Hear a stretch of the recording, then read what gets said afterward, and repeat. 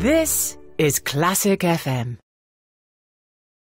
I think I have always a natural thing of this is great. I love this music. Let me get it out there to as many people as possible. The minute you open yourself to that idea, you begin down a path of what will people accept? What will all those people that turned up to the concert I gave in Royal Albert Hall, what will they all want to hear? Who are those people? Who is my audience? You're constantly, if you're trying actively to expand an audience for classical music, and of course for, for yourself also, um, the, the, the question you're, you're constantly faced with um, really paying attention to what people how how people will will react to the music that you choose to play. Um, I know a lot of classical musicians that that barely think about that. They're just like, I love this, I'm going to play this, and that's it.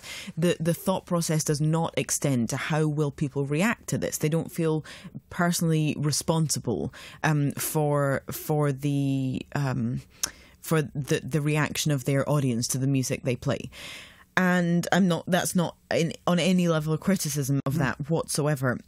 It's just been a natural tendency of mine to, for my mind to always go there. So, um, I also do think that I have a a, a bigger. Um, a bigger message of of just the amount of un fulfilling and enriching and unsubstantive things out there that are constantly bombarding young people and being sold to them. Um, I think if I can present something to them that that has a message of sustained concentration or um, or trying to listen to a variety of voices at once or having some kind of moving emotional experience or I, I don't I mean it's very difficult to categorize these things but there are a whole host of them that I think are potential um, experiences that can be had with classical music. I want to take the opportunity to give that to as, as many young people as I can as many people of all ages as I can. Um, but I think I, I do battle a lot with being in that sort of slight middle ground but in actual fact, my my adoration and love lying with so much music that a lot of people maybe just don't have the love for, the patience for.